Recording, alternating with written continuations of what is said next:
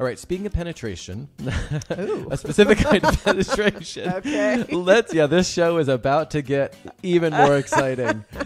needles. We're going to talk about needles. Okay. That's the kind of penetration I'm talking about because that is the thing that everyone obviously associates acupuncture with, you Right. know. Right. Um how do you know where to put them? What are some of the more bizarre points? Are there any that would be there surprising? are bizarre points. Well, first point on the bladder channel is on the inner canthus of the eye. So Oh. inside. You must have been nervous about putting needles into people. I mean, how You practice on yourself Oh, first. you practice on yourself. Yeah. Uh-huh. It's really not painful. That would be the way to describe it. usually. There have been a couple of exceptions. Yeah, it can, some, some then tongue and pulse to confirm. So so looking at the tongue, which So let's talk about that. Yeah, because that's something that's very different again from Western medicine. It's very rare to see the perfect tongue.